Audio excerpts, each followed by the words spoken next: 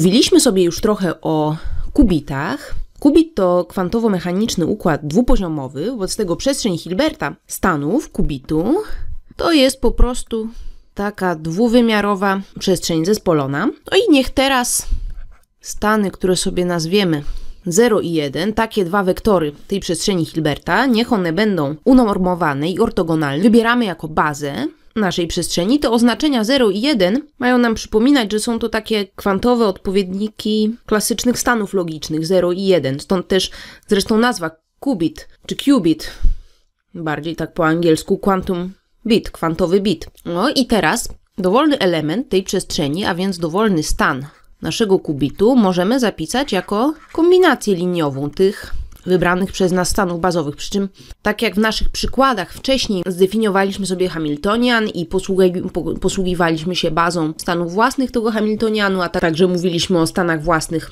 innych macierzy hermitowskich, tutaj nie precyzujemy w żaden sposób, jest to po prostu ortonormalna baza przestrzeni stanów naszego kubitu. To jaka to będzie baza, będzie zależeć od kontekstu fizycznego. No i teraz przypominam Ci, że robiliśmy takie założenie, że stany są unormowane, no i jeśli to policzyć, ten ket z takim bra utworzonym, z tego to okazałoby się, że to jest suma kwadratów modułów tych współczynników. One są zespolone, oczywiście. A skąd ten wymóg, żeby to było unormowane? No, przypominam Ci z filmu o pomiarach, że w momencie, kiedy wykonujemy na tym stanie pomiar w bazie właśnie tej konkretnej z tych stanów 0 i 1, to te moduły kwadrat interpretujemy jako prawdopodobieństwa otrzymania stanu odpowiednio 0 i 1. A żeby móc to interpretować jako prawdopodobieństwa, no to oczywiście one się muszą sumować do jedynki. I teraz te wektory, przestrzeń tych unormowanych wektorów, chcielibyśmy sobie jakoś wygodny dla nas sposób sparametryzować. I to teraz zrobimy. No to od razu możemy widzieć, możemy od razu się zastanowić, ile nam będzie potrzebnych parametrów. Otóż tutaj mamy dwie liczby zespolone, alfa i beta. Każda z nich ma część rzeczywistą i część urojoną. To nam daje łącznie cztery parametry rzeczywiste, ale zauważ, że to równanie nam tę przestrzeń dostępnych parametrów zmniejsza od 4 do 3. Dwie liczby rzeczywiste, moduł alfa i moduł beta, możemy sparametryzować bardzo łatwo przy pomocy jednego parametru rzeczywistego następująco. No oczywiście z własności funkcji sinus i cosinus wiemy, że to, to sumowanie kwadratów do jedynki zachodzi. Oprócz tego też z własności funkcji sinus i cosinus tutaj mamy sinus powiedzmy do, do wartości pi drugich rysujemy tylko, a tutaj cosinus. Tak, wybierając kąt θ w zakresie od 0 do pi mieścimy się w tym przedziale, kąty, które wstawiamy tutaj do tych funkcji będą się mieścić w przedziale od 0 do pi drugich, a wobec tego mamy tutaj odwracalne funkcje i dzięki temu odpowiedniość taką 1 do 1 między właśnie tymi wartościami, a właśnie tym kątem. To jest pierwszy krok w tej parametryzacji, ale jeszcze nie skończyliśmy. Sparametryzowaliśmy sobie moduły tych współczynników, no ale każdy z nich ma jeszcze fazę, prawda? Alfa to jest moduł alfy razy jakaś, jakiś czynnik fazowy, no i beta, ogólna dowolna liczba zespolona, to też jest właśnie moduł razy jakiś inny czynnik fazowy. Czyli to już nam wyczerpuje te trzy parametry, które mówiliśmy, że nam zostają. Mamy kąt teta i jeszcze dwa tu czynniki fazowe. Fi1 i Fi2 należą do zbioru od 0 do 2pi. No i wówczas jak użyjemy tych czynników fazowych, no to nasz stan zacznie wyglądać o tak. Czy też inaczej, jeśli jeden z czynników fazowych sobie wyciągniemy przed nawias. No i teraz bardzo ważny fakt jest taki, że taki oto globalny czynnik fazowy, przez który się nam mnoży cały stan, nie gra żadnej roli w fizycznym opisie.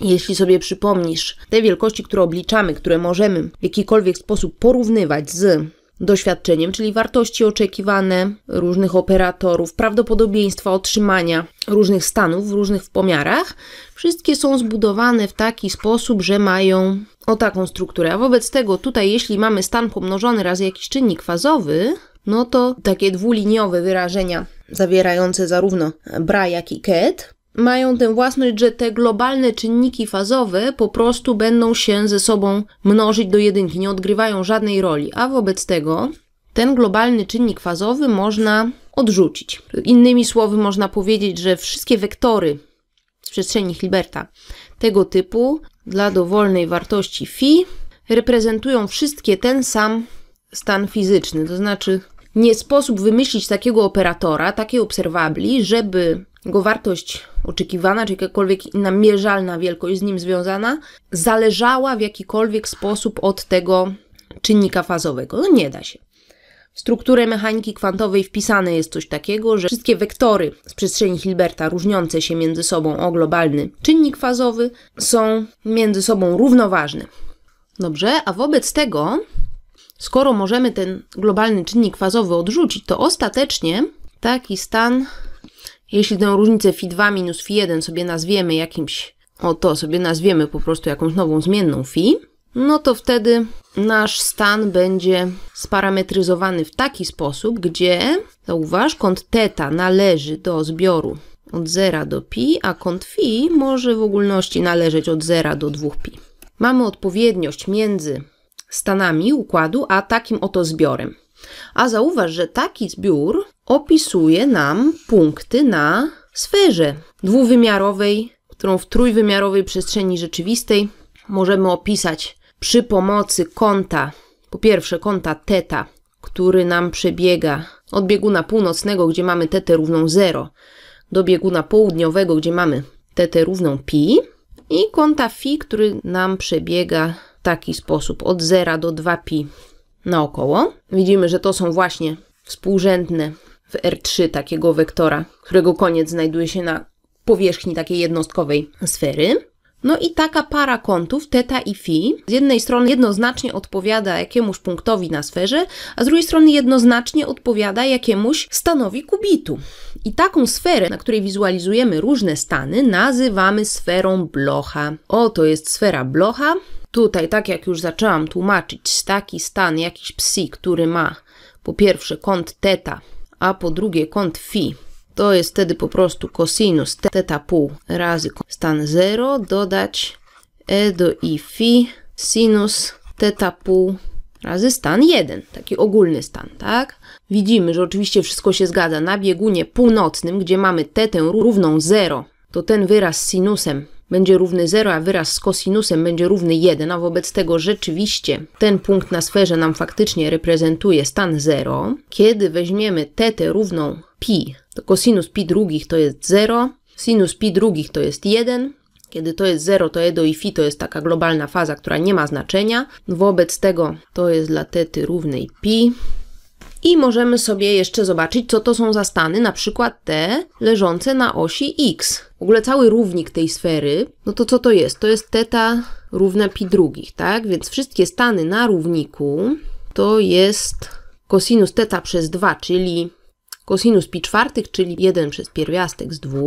Tutaj mamy 0, a tu mamy e do i fi razy 1, czyli na przykład dla fi równego 0, a więc o ten stan. No to będzie taka kombinacja liniowa, po prostu z plusem. 0 plus 1 i 1 przez pierwiastek z 2, który nam daje normalizację.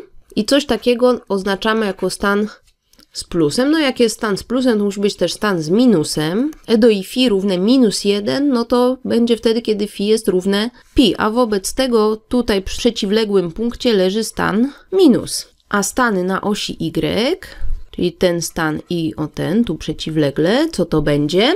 One również są na równiku, natomiast kąty Fi, jakie im odpowiadają, no temu leżącemu tutaj odpowiada kąt Fi równy pi drugich. E do i pi drugich to jest i. Ten stan możemy sobie oznaczyć tak, jako taki ket z symbolem i. Natomiast ten punkt przeciwległy to jest minus pi drugich, czy też 3 drugie pi. I on będzie wyglądał tak, tak? I e do minus i pi drugich, czy e do i 3 drugie pi, to będzie minus i tutaj. I nazywamy ten stan minus i, więc tutaj mamy te stany i i minus i, tak w tej nomenklaturze. No i teraz ta sfera Blocha niestety nie uogólnia się na stany należące do przestrzeni Hilberta o większej liczbie wymiarów. Tym niemniej jest bardzo użyteczna do wizualizowania sobie po pierwsze samych stanów, do rysowania ich, po drugie można sobie na niej wizualizować ciągłą ewolucję, czyli taką związaną z konkretnym Hamiltonianem. Jeśli się umówimy, że na przykład te stany 0 i 1 to są stany własne Hamiltonianu, no to wtedy taka ewolucja to będzie z tymi wartościami własnymi, które mieliśmy już w naszym przykładzie, czyli plus i minus e drugich. Takie czynniki fazowe. No widzimy, że jak wyciągniemy przed nawias wspólny czynnik fazowy, o ten, no to po takim wyciągnięciu przed nawias tutaj nam zostaje coś takiego. Jakby w toku tej ewolucji teta pozostaje cały czas taka sama. Jeśli wystartujemy tutaj, no to idziemy po równoleżniku o w taki sposób. I możemy powiedzieć, że startujemy z tego stanu i przez jakiś czas ewoluujemy i wylądujemy w jakimś tam innym stanie, który tetę będzie miał tę samą, natomiast zamiast kąta phi będzie miał tutaj ten czynnik fazowy proporcjonalny do czasu. To to jest przykład wizualizacji właśnie takiej ciągłej ewolucji, wynikającej po prostu z równania Schrödingera. Natomiast jeszcze można sobie wizualizować, to działanie, również przydatne w obliczeniach kwantowych, to działanie po prostu bramek kwantowych. Czyli, że mamy stan i przykładamy do niego jakąś operację unitarną i lądujemy w jakimś innym stanie. Również na powierzchni sfery Blocha. Więc jest to bardzo przydatna parametryzacja samych stanów, przydatna również wizualizacja różnych operacji na stanach kubitu, czyli układu dwupoziomowego, no i będziemy do tej konstrukcji, do tej sfery Blocha wracać i z niej korzystać. Do usłyszenia.